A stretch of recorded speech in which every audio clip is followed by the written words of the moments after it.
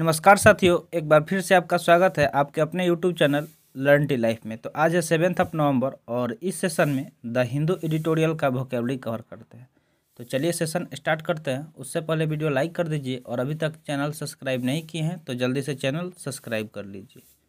तो और ये हमारा सोशल मीडिया है, इसका लिंक आपको डिस्क्रिप्शन बॉक्स में मिल जाएगा। अगर सेशन का पीडीएफ चाहिए तो आप वहाँ से जाकर डाउनलोड कर सकते हैं। आपको टेलीग्राम पे शेयर किया जाता है पीडीएफ वहाँ से आप डाउनलोड कर सकते हैं। तो जाके जल्दी से ज्वाइन कर लीजिए।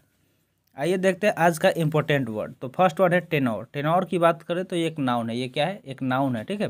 तो वर्ड के साथ हम पार्ट्स ऑफ़ स्पीच कवर करते हैं, फिर उसका इंग्लिश मीनिंग हिंदी मीनिंग फिर उसके सीनोनेम्स और जहाँ भी ट्रिक बनता है तो वो ट्रिक ज़रूर बताते हैं। तो वर्ड टेनोर हो गया, जो एक नाउन है, जिसका मीनिंग होता है a man singing voice with a range just below the lowest women's voice यानी कि जो एक आदमी है, उसके जो गाने का जो आवाज़ है ना, ठीक है, उसका रेंज क्या है? थोड़ा सा नीचे है किससे? जो वुमेन का वॉइस है तो उसको क्या बोलेंगे? टेनोर बोलेंगे, यानी कि गति बोल सकते हैं। जो वॉइस का जो मतलब रेंज है, उसको क्या बोल सकते हैं? गति बोल सकते हैं। तो सीनोनेम्स की बात करें तो ड्रिफ्ट हो सकता है टोन हो सकता है मीनिंग हो सकता है, फिर गिस्ट हो सकता है। ये सब क्या हो जाएँगे इसके? सीनोनेम्स हो जाएँगे। तो साथ में एक बार इसको रिवाइज करना है। वर्ड क्या हो गया? टेनोर जो एक नाउन है, जिसका मीनिंग क्या होता है? A man singing voice with range just below the lowest women's voice ठीक है? और गति इसका हिंदी मीनिंग हो गया सीरोनेम्स की बात करें तो ड्रिफ्ट टोन या मीनिंग या फिर गिस्ट हो गया।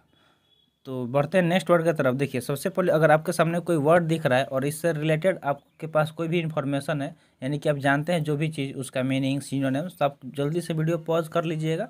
और वहाँ पे जाके कमेंट सेक्शन में नंबर डाल के और उससे रिलेटेड जो भी जानते हैं वो लिख लिख दीजिएगा, ठीक है?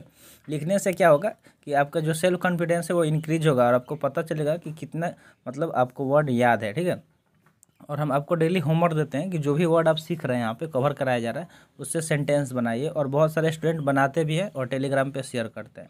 तो आपको उस, या तो यहाँ पे कमेंट सेशन में आप कमेंट कर सकते हैं, या फिर टेलीग्राम पे सेंटेंस बना के शेयर कर सकते हैं। तो जहाँ आपको अच्छा लगे, वहाँ पे आप कर सकते हैं। तो आइए देखते हैं इसका मीनिंग तो टुमुल्टस मतलब क्या होता है? वेरी लाउड होता है, ठीक है? यहाँ पे ये एडजेक्टिव है तो देखिए इसमें ओ यू एस आया है सफिक्स क्या है? ओ यू एस और बार बार हम आपको बताते हैं कि जो ओ यू एस क्या होता है? एक एडजेक्टिव सफिक्स होता है। इसलिए ये वर्ड क्या हो गया? एक एडजेक्टिव हो गया। तो इसका हिंदी मीनिंग क्या हो जाएगा? अशांत हो गया। जो बहुत तेज़ है, उसका मीनिंग उसको हम बोल सकते हैं ना कि ये अशांत है, ठीक है?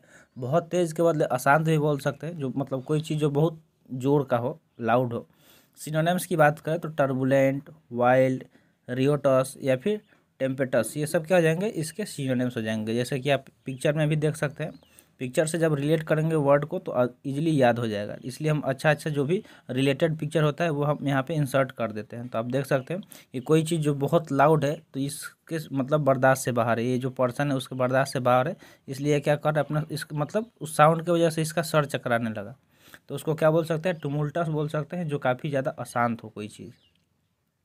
थर्ड वर्ड है स्पाई मास्टर स्पाई मास्टर की बात करें तो ये एक नाउन है। स्पाई मास्टर यहाँ पे क्या है? एक नाउन है। इसका मीनिंग होता है a person who controls a group of spies यानी कि जो स्पाइज हैं, यानी कि जासूस, उनके ग्रुप यानी कि उनके समूह को जो कंट्रोल करता है, नियंत्रित करता है, उसको ही स्पाई मास्टर बोलते हैं, यानी कि जो उसका मास्टर होता है। तो उसका, इसका अगर हिंदी मीनिंग का बात करें तो एजेंट हो सकता है। जैसे बहुत सारे आप देखे होंगे, जो मतलब हर कंट्री का एक कोई मतलब एक वो होता है ग्रुप होता है, ठीक है? जो नज़र रखता है सब चीज़ पे, जैसे इंडिया का रॉ हो गया आईएसएस हो गया सीएनआई हो गया, ऐसे बहुत सारे मतलब अलग अलग देश के क्या है, एक ग्रुप है जो क्या करते हैं मतलब इंटरनली नज़र रखते हैं हर चीज़ पे। तो जो उसका एजेंट होता है, जो उसको कंट्रोल करता है, उसको क्या बोलते हैं स्पाई मास्टर बोल सकते हैं या फिर एजेंट सिनोनेम्स की बात करें तो हैंडलर हो सकता है एजेंट हो सकता है एस्पिनोएज हो सकता है या फिर इनफिल्ट्रेटर हो सकता है। तो आई होप आपको समझ में आ गया होगा स्पाई मास्टर मतलब क्या होता है। यानी कि आप बहुत सारे मूवी में देख, भी देखे होंगे कि जो एजेंट होता है, जो जैसे मान लीजिए कि जो भी मतलब कोई एक ऑर्गेनाइजेशन हो गया जिसमें बहुत सारे जासूस काम कर रहे हैं और उसका जो एजेंट होता है तो उसको स्पाई मास्टर बोला जाता है। फोर्थ वर्ड की बात करें तो फोर्थ वर्ड क्या है? ट्रेटर ट्रेटर एक नाउन है यहाँ पर ट्रेटर क्या है एक नाउन है जिसका मीनिंग होता है a person who betrays their friends their countries etcetera by giving away secret about them by lying or to or about them or by doing other things that will harm them यानी कि एक ऐसा person जो क्या कर रहा, अपने दोस्त को, अपने देश को, सबको क्या कर रहा, धोखा दे रहा हो। उन लोगों को क्या कर रहा, धोखा दे रहा हो। यानी कि मान लीजिए कि वो कोई सीक्रेट जानता हो और वो दूसरे से बता रहा हो तो उसका मतलब क्या हो गया? धोखा ही नहीं हुआ। मान लीजिए आप किसी से, अपने दोस्त से, आप अपना सबसे सीक्रेट बात बताए। उस पर तो आप विश्वास करके ही बताएँगे और वो दूसरों तक वो चीज़ पहुँचाने लगे तो आपके नज़र में क्या होगा? धोखा ही होगा। तो ऐसा इंसान जो देश का खबर दूसरे देश में पहुँचा रहा है, दुश्मन को बता रहा है तो वो धोखा हो गया, धोखा देना हो गया, ठीक है? उसका मतलब जिससे नुकसान हो सकता है। तो ऐसे इंसान को ट्रेटर बोल सकते हैं, देशद्रोही या फिर धोखेबाज। सिनोनेम्स की बात करें तो रेनिगेड हो सकता है बेट्रेयर हो सकता है डिफेक्टर हो सकता है या फिर डिजर्टर हो सकता है। तो ये सब इसके सिनोनिम्स हो जाएँगे, जिसका मीनिंग सेम होता है, ठीक है? जिनका मीनिंग ट्रेटर से रिलेटेड है, यानी कि धोखेबाज बोल सकते हैं, देशद्रोही बोल सकते हैं। नेक्स्ट वर्ड है रिगिंग रिगिंग की बात करें तो ये एक नाउन है। रिगिंग क्या है? एक नाउन है, जिसका मीनिंग होता है the ropes that support the mast and sails of boat और शिप आप देखे होंगे, जब जैसे मान लीजिए आपको पिक्चर का थ्रू मतलब ऐसे बता रहे हैं कि जैसे ये कोई बोट हो गया, ठीक है? मान लीजिए कि ये कोई बोट हो गया तो इसमें आप ऐसे झंडा टाइप मत देखे होंगे, ये लगाया रहता है, ठीक है? जिससे क्या होता है कि वो हेल्प करता है उस, उस बोट या शिप को तेज़ी से चलने के लिए। तो उसको ही रिगिंग बोल सकते हैं। उसको क्या बोल सकते हैं? रिगिंग बोल सकते हैं।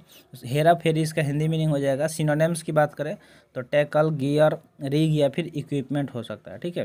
तो रिग इक्विपमेंट टैकल और गियर क्या हो जाएगा? इसका सिनोनेम्स हो जाएगा। वो गियर का काम करता है। जिधर से हवा होगा ना तो उसके मतलब जिस डायरेक्शन से हवा आ रहा होगा उसके जस्ट विपरीत अगर आपको जाना होगा तो उधर हम घुमा देंगे उसको। उसको पाल भी बोला जाता है। नाव का पाल।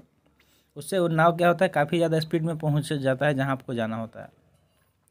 नेक्स्ट वर्ड की बात करें तो नेक्स्ट वर्ड है ग्लोटेड ग्लोटेड क्या है? एक भर्ब है, जिसका मीनिंग होता है to show that you are happy about your own success और somebody's else failure in an unpleasant way यानी ग्लोटेड मतलब होता है कि आप बहुत ज़्यादा खुशी ज़ाहिर करना अपने सक्सेस पे या फिर दूसरों के फेलियर पे।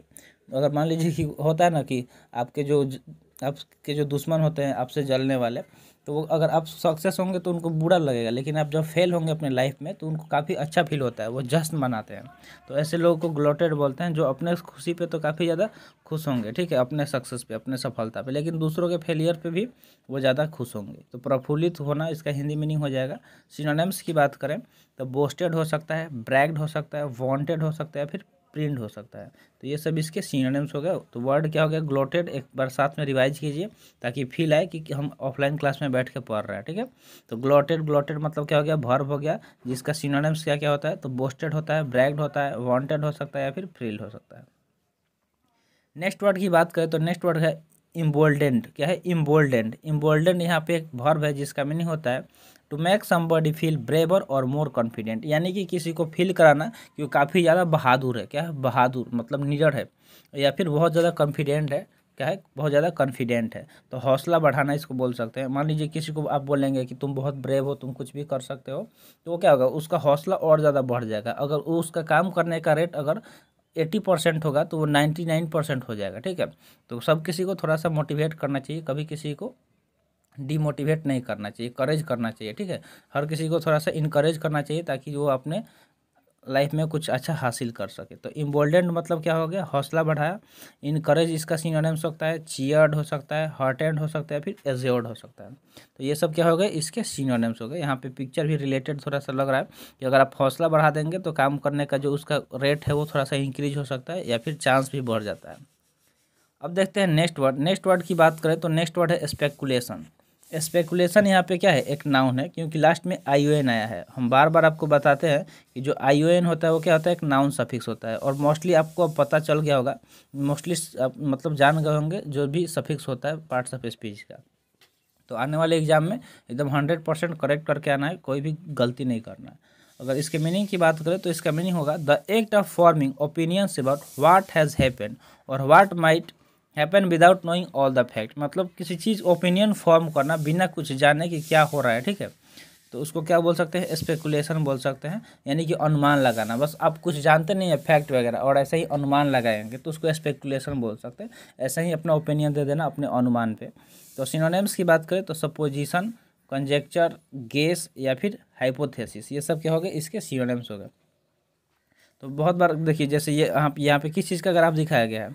शेयर मार्केट का, ठीक है? शेयर मार्केट में कुछ ऐसा ही होता है कि अगर आप ठीक से टेक्निकल एनालाइज नहीं करते हैं और ऐसे ही आप मतलब जैसे मान लीजिए कि ग्राफ ऐसे ऐसे चल रहा है और आपको लग यहाँ पे आप ऐसे ही अंदाज पे बोल दिए कि ग्राफ ऊपर जाना, जाने वाला है, लेकिन अचानक से क्या हुआ कि और ज़्यादा मार्केट डाउन हो गया तो इससे लॉस हो सकता है, ठीक है? तो बिना टेक्निकल एनालिसिस या बिना कुछ फैक्ट जाने स्पेकुलेशन नहीं करना चाहिए, वरना उससे आपको लाइफ में बहुत ज़्यादा लॉस हो सकता है और जो भी ट्रेडर हैं, उनको तो काफ़ी ज़्यादा लॉस हो जाएगा। तो स्पेकुलेशन मतलब समझ गए ना कि क्या हुआ, अनुमान लगाना। अगर मान लीजिए कि आप सही अनुमान लगा लिए कि आज मार्केट अप जाएगा और वैसे आप कुछ ट्रेडिंग कर लिए तो बहुत ज़्यादा आपको बेनिफिट भी हो सकता है। नेक्स्ट वर्ड की बात करें तो नेक्स्ट वर्ड टेकल टेकल एक भर्व है। क्या है? टेकल एक भर्व है। आप ये वर्ड बहुत बार सुने होंगे, अगर आप कबड्डी अच्छे से मतलब आपको कबड्डी पसंद होगा और कबड्डी देखते होंगे तो। तो यहाँ पे अगर इसकी मीनिंग की बात करें तो मीनिंग क्या हो जाएगा? To make a determined effort to deal with difficult problem और सिचुएशन यानी कि आपके लाइफ में कोई बहुत ज़्यादा समस्या चल रहा है, कोई प्रॉब्लम चल रहा है, जो कठिन हो तो उसको कैसे डील करना है, उसके लिए मतलब उससे डील करना को टेकल कहते हैं, यानी कि निपटना। जो भी समस्या है, कोई कोई प्रॉब्लम है, उससे जो निपट रहे हैं, उसको सुलझा रहे हैं तो उसको टेकल बोल सकते हैं। सिनोनिम्स की बात करें तो एड्रेस कन्फ्रंट अंडरटेक या फिर हैंडल ये सब इसके सिनोनिम्स हो जाएँगे। तो आई होप आपको टेकल वर्ड समझ में आ गया होगा। टेकल मतलब क्या होता है? निपटना, कोई भी प्रॉब्लम हो, समस्या हो उससे क्या करना डील कर लेना। अब देखते हैं नेक्स्ट वर्ड और ये आज के सेशन का लास्ट वर्ड रहेगा। वर्ड है एजॉर्ड एजॉर्ड एक एडजेक्टिव है, ठीक है? एजॉर्ड क्या है? एक एडजेक्टिव है, जिसका मीनिंग होता है सर्टेन टू हैपन मतलब कोई चीज़ जो, क्या है? सर्टेन है, निश्चित है कि वो चीज़ होगा, ठीक है? एश्योर है कि वो चीज़ होगा, ठीक है? तो एश्योर्ड यहाँ पे क्या हो गया? एक एडजेक्टिव हो गया। जिसका मीनिंग क्या होता है? आत्मविश्वासी। सिनोनेम्स की बात कर तो कॉन्फिडेंट सर्टेन श्योर या फिर सिक्योर हो जाएगा, ठीक है? तो ये सब क्या हो जाएँगे? इसके सिनोनेम्स हो जाएँगे, जिसका मीनिंग क्या होता है? कि आत्मविश्वासी होता है। तो एक बार साथ में रिवाइज कीजिए। वर्ड क्या है? एजॉर्ड एश्योर्ड क्या है? एक एडजेक्टिव है जिसका मीनिंग क्या होता है? आत्मविश्वासी कॉन्फिडेंट सर्टेन श्योर या फिर सिक्योर इसके सिनोनेम्स हो जाएँगे। तो अब चलते हैं होमवर्क की तरफ़। तो देखिए, यहाँ पे एक बहुत सिंसियर स्टूडेंट है, जिनका नाम है आयुष्मान पांडे। जो हमेशा एक्टिव रहते हैं और जो भी होमवर्क दिया जाता है वो करते हैं। तो इन्होंने काफ़ी अच्छा सेंटेंस बनाया। वर्ड यहाँ पर डेंट था, क्या था डेंट तो डेंट से इन्होंने सेंटेंस बनाया। कि a small dent was there on the car when drag come back with the car यानी कि देखिए, जब मतलब डेंट मतलब क्या बताते हैं कि जब गाड़ी वगैरह एक्सीडेंट होती है या कुछ भी तो उस पर जो निशान या धब्बा आ जाता है, उसको डेंट बोलते हैं। तो डेंट से इन्होंने काफ़ी अच्छा सेंटेंस बनाया। तो अगर आप भी देख रहे हैं यहाँ तक तो आई होप आपको समझ में आ रहा होगा सेशन अच्छा लग रहा होगा और होमवर्क नहीं बना रहे तो आज से सिंसियर होकर प्रॉमिस कीजिए कि आप होमवर्क बनाएँगे और कमेंट सेशन में कमेंट करेंगे या फिर टेलीग्राम पर शेयर करेंगे। नेक्स्ट इन्होंने बनाया है अनबेटेड से। किस चीज़ से? अनबेटेड से। तो अनबेटेड का बनाया है the bond between atoms of an element is unabated. तो आई होप आपको मज़ा आ रहा होगा, तभी आप सिंसियर होकर होमवर्क बना रहे हैं और आई विश की आपका जो भी लाइफ में गोल है वो अचीव करें और ऐसे ही मेहनत करते रहिए। Thanks for watching. तो आज का सेशन यहीं पर समाप्त हुआ। सेशन कैसा लगा? कमेंट सेशन में ज़रूर बताइएगा। मिलते हैं फिर अगले सेशन में। जय हिंद।